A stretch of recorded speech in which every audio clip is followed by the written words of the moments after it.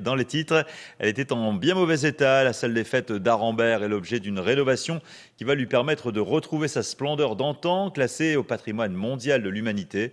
C'est aussi un véritable témoignage de l'histoire régionale que nous dévoilent Claire Chevalier et Bertrand Terry. C'est un bijou qui reprend petit à petit les couleurs. Témoin du passé de la région et de l'architecture d'une époque, la salle des fêtes d'Arambert a été construite en 1910 par la Compagnie des mines d'Anzin.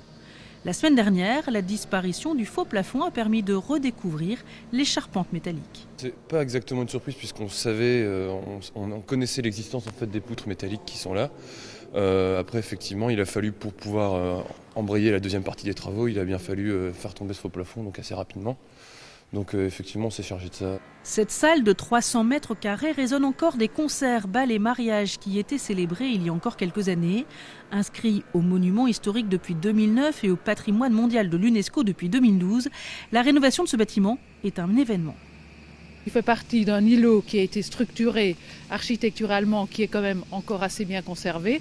Il y a l'église, il y a la salle des fêtes et il y a l'école ménagère qui est attenante à la salle des fêtes, qui est dans le même style et qui est aussi euh, très intéressant. Donc dans ce sens, on a l'intégralité de la fonction liée à l'exploitation euh, minière de cette époque.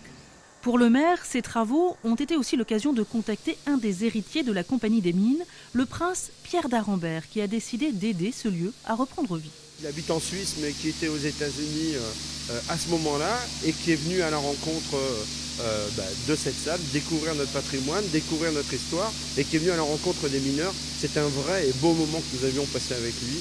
Il nous avait promis de nous aider, c'est chose faite, puisqu'il a déjà versé euh, euh, un peu plus de 50 000 dollars et un deuxième versement bah, est en attente. Coût des travaux 3,7 millions d'euros et si tout va bien, la salle pourrait être rénovée pour la fin de l'année et inaugurée en présence du prince.